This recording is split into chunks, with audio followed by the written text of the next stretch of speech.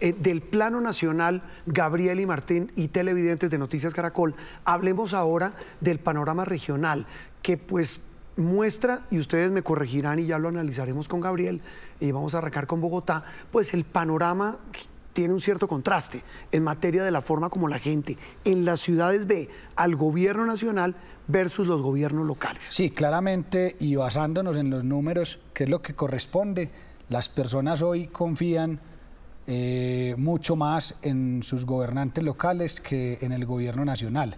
Y empecemos con Bogotá. Si la aprobación de Carlos Fernando Galán está en el 50%, la desaprobación en el 40%. Y con respecto a junio, mejora porque tenía un 47% de aprobación y un 44% de desaprobación. ¿En dónde puede estar, eh, Gabriel, el, secreto para entender estos números del alcalde de Bogotá? Hay temas de movilidad, la seguridad sigue alta, ya Martín nos hablará, pero ¿cuál puede ser la clave para entender eso? Ha habido una diferencia sustancial entre la última medición y esta y ha sido la actitud del alcalde Carlos Fernando Galán, que ha dejado de ser, eh, digamos, pasivo, si se quiere, frente a los problemas del distrito en donde interviene la nación, ha sentado posiciones claras en contra del, del, presidente Gustavo Petro, no solo en cuanto al metro, frente a la postura de las, de las relaciones con Venezuela, en el tema de la política alimentaria. Entonces estamos viendo un alcalde que cada vez más asume posiciones de defensa del distrito y en contra de las imposiciones del gobierno nacional y eso inevitablemente tiene unos réditos políticos que vemos cómo le permite dar ese salto en la, en la aprobación y disminuir la percepción negativa que en la encuesta pasada estaba por encima o digamos estaba muy muy pareja entre los que eh, rechazaban su gestión y los que la aprobaban. Bueno, eso es clave. veamos, Martín, eh, basado en lo que dice Gabriel, los problemas en Bogotá, según la encuesta que dicen las personas consultadas. El principal problema que tiene Bogotá en este momento, según las personas, es la inseguridad con el 53%. Sigue siendo el mismo, ¿no? Sigue siendo el más alto, pero cede un poquito o un poco frente a junio. Eh, en segundo lugar está el tema de empleo, que pasa del 6% al 9,7% corrupción el 5% y pobreza el 4%. Entonces, sin duda, el foco, obviamente eh, una ciudad pues requiere de muchos frentes eh, diferentes, pero hoy en día los bogotanos están pidiendo es más seguridad y más empleo.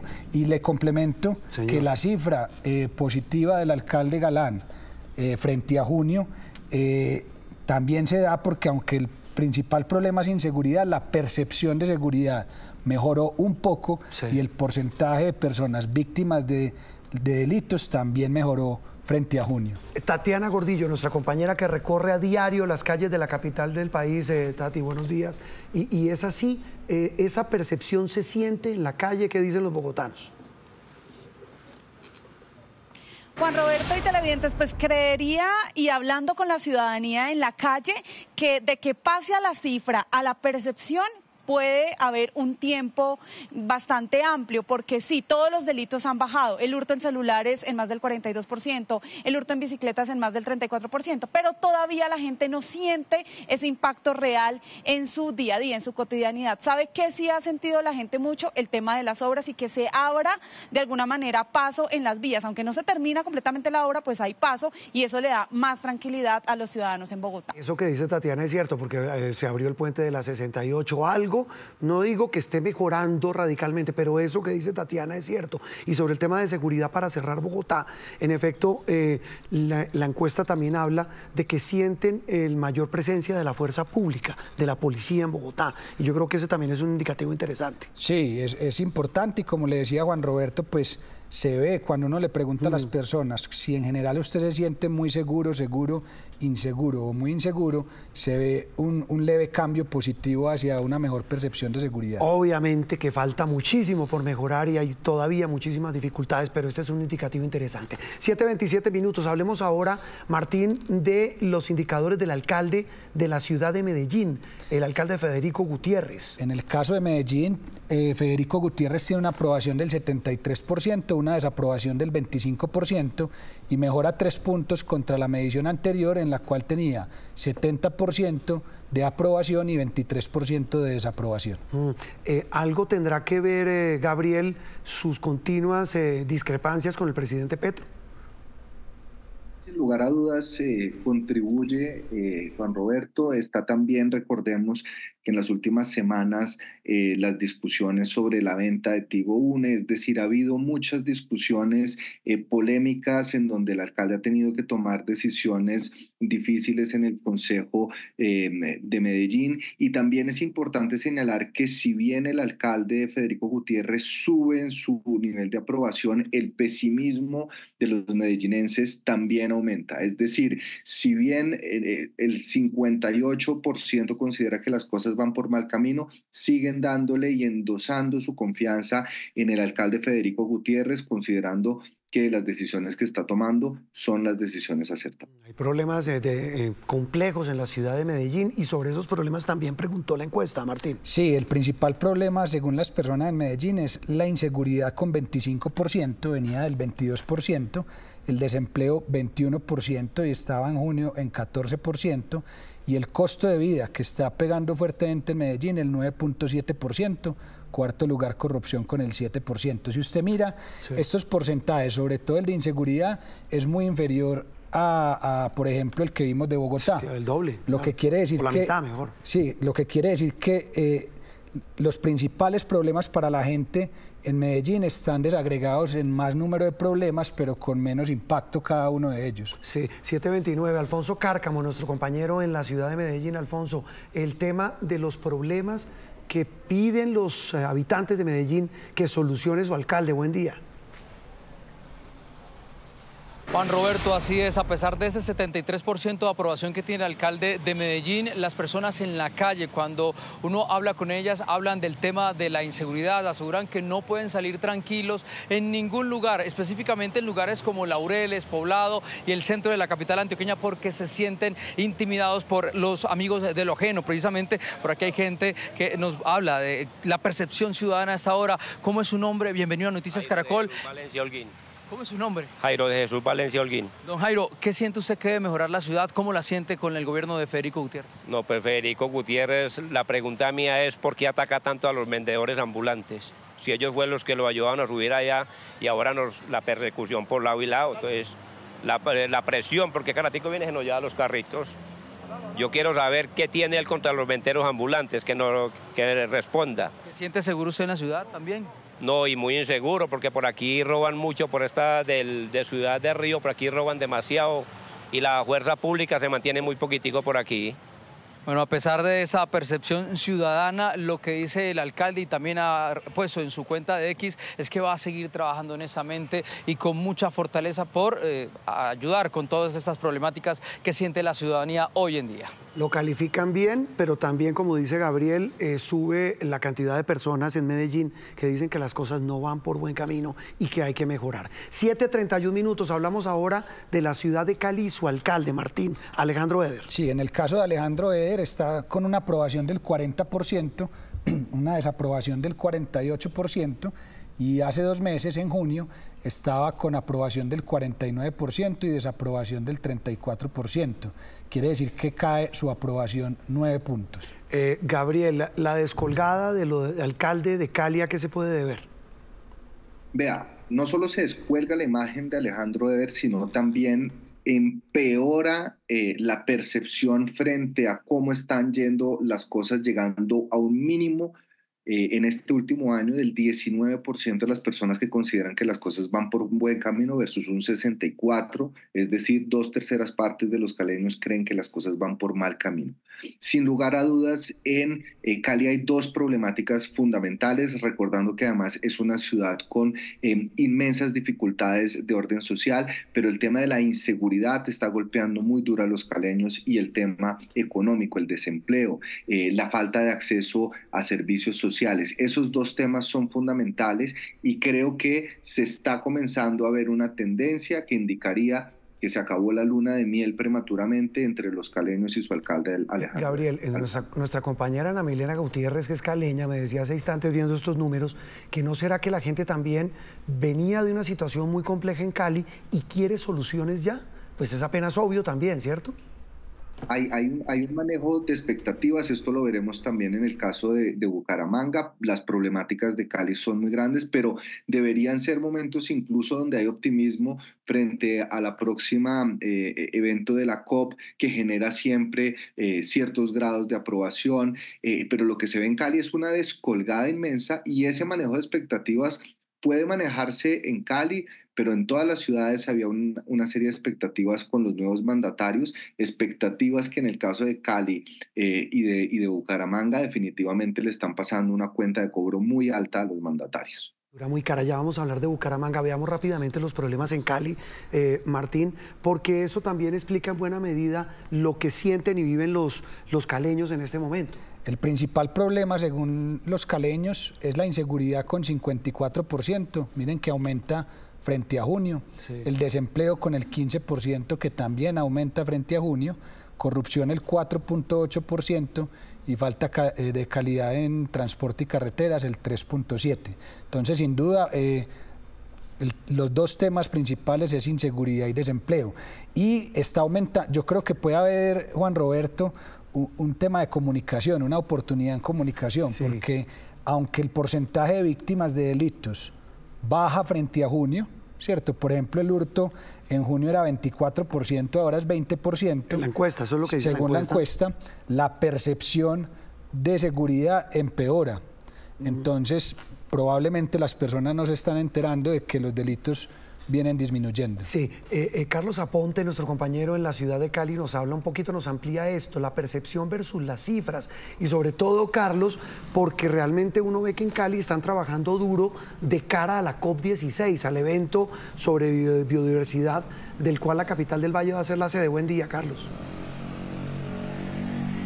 Juan Roberto, televidentes, muy buenos días. Pues mire, se ampara la alcaldía de Cali en, los resultados, en las estadísticas que tiene este año en materia de homicidios y también de hurtos. Han, disminuido los homicidios, dice la alcaldía, en un 17% y también los hurtos en un 15%, pero desafortunadamente la percepción de seguridad eh, pues no es la mejor. La gente cree que eh, la capital del Valle sigue siendo muy insegura y lógicamente también hablan de, un subregistro en el tema de las denuncias por todos los problemas que eh, tienen que enfrentar los ciudadanos a la hora de poner estos denuncios. También señalan o le abonan a la alcaldía, a los ciudadanos, los operativos de tránsito y de movilidad y también el acompañamiento que han conseguido por parte de la fuerza pública. Recordemos que gracias al evento de la COP16 a la capital del Valle van a llegar más de 5 mil efectivos de la fuerza pública, incluso van a tener apoyo de otros países. Pero sin embargo, la situación sigue siendo eh, compleja en las calles de la capital del Valle y otra de las situaciones que están pidiendo los caleños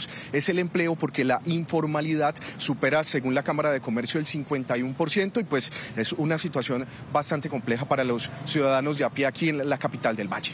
Eso es lo más importante, lo que piensan los ciudadanos de a pie. Carlos, gracias. 736, eso que dicen de la COP16 puede ser un punto de quiebre, que los caleños vean eh, como lo va a ver todo el país, que Cali se va a lucir y eso lo esperamos todos en esa cumbre sobre biodiversidad que es en octubre. 736, Martín, veamos los datos del alcalde de Barranquilla, Alejandro Char. En el caso de Barranquilla, Alejandro Char tiene una aprobación del 72%, una desaprobación del 26%. Mm. comparado con junio, que tenía una aprobación del 73% y una desaprobación del 22%.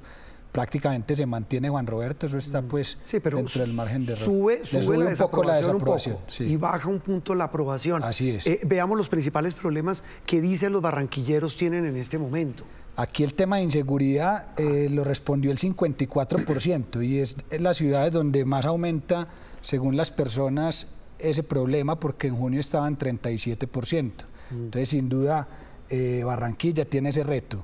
Desempleo baja del 21 al 10%, es decir, hay una mejora en la percepción del tema económico. Servicios públicos mejora un poco al 8.3%. Tarifas de energía. Exacto. Y mire que bandas criminales es el cuarto con 6.1%, que si usted lo suma más o menos al tema de inseguridad, que está prácticamente relacionado, estamos hablando de un 60% que menciona ese, ese punto de orden público como un tema urgente a resolver. Margarita Lisa, nuestra compañera en Barranquilla, estos, estas cifras se traducen sobre todo en un asunto del que usted da cuenta prácticamente todos los días. La vimos ayer hablando de la extorsión en la capital del Atlántico. Margarita, buen día. Roberto y televidente, muy buenos días. Pues sí, más temprano hicimos un pequeño sondeo aquí con los habitantes eh, de la capital del Atlántico y efectivamente el problema más grave que ellos dicen tiene la ciudad es la inseguridad. Preocupa mucho los homicidios. Mire, Barranquilla cerró el mes de julio con 34 homicidios, 247 en total con cierre en el mes de julio. Pero vamos a hablar aquí, encontramos algunos de los habitantes. ¿Cómo es su nombre? Leonice Garay Villarraga. Leonice, eh, bueno, cuéntanos, ¿qué problemas ves tú que tiene la ciudad que sea más grave? Bueno, la verdad es la inseguridad, la inseguridad, el robo, los celulares, las motos, eso es fundamental aquí en Barranquilla. Estamos, nos sentimos inseguros, no podemos salir a la calle, no podemos sentir un motor, no podemos sentir una moto porque estamos asustados. Eso es muy, muy dramático esa situación aquí. Bueno, los atracos, homicidios y también las extorsiones. Nada más ayer el presidente de la Unión de Comerciantes, Undeco, nos decía que en Barranquilla 250 tiendas cerraron por extorsión y no volvieron a abrir. Las autoridades dicen que 211 personas han sido capturadas por este delito en lo que va del año. El alcalde Char, Margarita Gracias, nos decía hace cuando cumplieron los 100 días que ese es el gran dolor de cabeza, Gabriel, que no lo deja dormir, el tema de la inseguridad. Si bien es una ciudad a la que le reconocen un modelo de gobierno donde hay temas de pobreza, pero también de infraestructura que mejoran. Es decir, hay unos contrastes enormes, pero todo eso junto pues le genera unos retos enormes en medio de una muy alta aprobación. Y fíjese usted, Juan Roberto, que es una de las ciudades en donde más sube el tema de la inseguridad como el principal problema de los ciudadanos, aumentando casi 20 puntos, y eso tiene un impacto también en el optimismo de los ciudadanos. Generalmente Barranquilla ha sido una ciudad de personas que piensan que las cosas van por buen camino, que tienen un optimismo, pero se descolgó 11 puntos frente a la última medición. E incluso esa percepción y esa aprobación del alcalde Alejandro Char, que tiene un efecto teflón y lo ha tenido en, en sus alcaldías pasadas, está en uno de los puntos más bajos comparados con su segunda y su primera alcaldía. Entonces, lo que uno ve es que todavía hay mucha confianza frente al alcalde, pero crece el pesimismo y el problema de la inseguridad particularmente en lo que tiene que ver con el aumento de los homicidios y la extorsión, que es un tema muy marcado en Barranquilla, están pasando factura de cobro entre los ciudadanos. Eh, Martín, usted me corregirá, en la alcaldía pasada, en este poll, em, Alejandro Char llegó a este tener nivel... La misma metodología, misma medición, estaba siempre entre el 85 y el 95% de aprobación. ¿Qué es lo que Gabriel dice? Hay gente pues que está, eh, repito, cobrándole esa factura en medio del reconocimiento que hacen de lo que esta gestión ha hecho en la capital del Atlántico.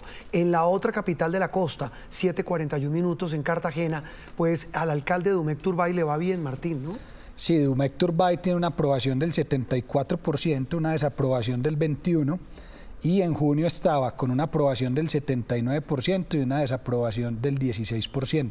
Quiere decir que su aprobación cayó 5 puntos, pero se sigue manteniendo en muy buenas cifras. Sí, es una, es una buena cifra, aunque baja. Eh, repito, don Carlos Cataño y Guarán, muy buenos días. Y en, este, en esta medición, y uno lo ve con lo que usted a diario eh, escucha en las calles de la capital de Bolívar.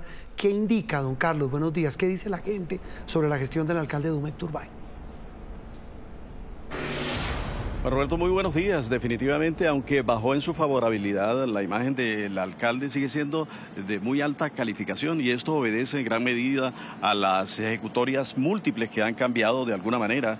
La percepción ciudadana han cambiado, igualmente la configuración, eh, los servicios, toda la infraestructura pública aquí en Cartagena. Sin embargo, eh, la gran preocupación de los cartageneros sigue siendo la inseguridad. Se han disparado los homicidios, igualmente es creciente el fenómeno de la extorsión, los atracos, los raponeos en la vía pública son muy comunes y esto es básicamente lo que la gente pone como queja. Sin embargo, también hay otros problemas que aquejan esta y las anteriores administraciones, hay que decirlo, y tienen que ver con la movilidad e igualmente con los altos niveles de los servicios públicos, especialmente de la energía. Pero en general el panorama es favorable tanto para el alcalde local como para el gobernador del departamento de Bolívar. Volvemos a Bogotá. Eso es importante, ya vamos a hablar de gobernadores, don Carlos, muchas gracias. Eh, Gabriel, eh, una ciudad que venía de una desastrosa administración local como la pasada del señor Dau, tiene una muy buena aprobación el alcalde Dumec, aunque baja, pero allí, lo, como dice Carlos, los retos son enormes y eso se ve en el optimismo y el pesimismo de los cartageneros. Así es, Juan Roberto. Quizás una de las ciudades donde hay una mayor distancia eh, y una mayor desigualdad es, es, Cartagena, pero hay un dato muy importante de la encuesta y es el comparativo entre abril del 2024 y agosto de este año, en donde el desempleo, que es quizás el indicador social de mayor impacto en la ciudadanía, se reduce de 22 como siendo el 22% de las personas quienes indican eh, su mayor preocupación es el desempleo al 11%. Es decir, se ve que hay una recuperación en los indicadores sociales, pero definitivamente el tema de la inseguridad viene en una tendencia creciente como la mayor preocupación de los cartageneros, que al igual que en Barranquilla y en la costa atlántica, están azotados por la extorsión, el aumento de homicidios y la delincuencia común y la presencia de bandas criminales en las ciudades encargadas del microtráfico y de otras rentas ilegales que afectan seriamente la seguridad de los ciudadanos en la costa atlántica. Martín, ¿algo que acotar sobre el tema Cartagena? Sí, que aunque sigue siendo la inseguridad el principal problema según las personas, el índice de o, el porcentaje de personas que dicen haber sido víctimas de hurto bajó del 21% al 11%. Es decir, que, que sí hubo un cambio drástico en el tema de hurtos y probablemente eso mantenga pues al alcalde en buenas cifras de aprobación. Mm, que, que, él nos decía que esa es también, repito, su obsesión. 7.44 minutos, cerramos eh, esta calificación de alcaldes de las principales ciudades con el alcalde de Bucaramanga, Martín. Bucaramanga tiene una aprobación, Jaime Andrés Beltrán, del 61%, una desaprobación del 35%, y con respecto a junio, eh, cae 10 puntos o 11 puntos porque tenía una aprobación del 72% y una, una desaprobación del 23%. Mm. Es decir, que eh, desmejora y básicamente eh, la razón principal también es la inseguridad y el estado de ánimo en Bucaramanga que tenía un 47% positivo y bajó a 38%. Veamos el gráfico sobre los problemas en Bucaramanga. Y lo que usted dice, el tema de la inseguridad parece ser, como en el resto del país, el que sigue generando mayor atención de los ciudadanos. 49% dicen que el principal problema es inseguridad, venía del 42%, luego desempleo con el 10%, costo de vida con el 8% y calidad del transporte y carreteras el 4. Natalie Ramos, nuestra compañera en Bucaramanga, lo que dicen los eh, habitantes de la capital de Santander sobre los problemas que quieren que su alcalde solucione. Buen día.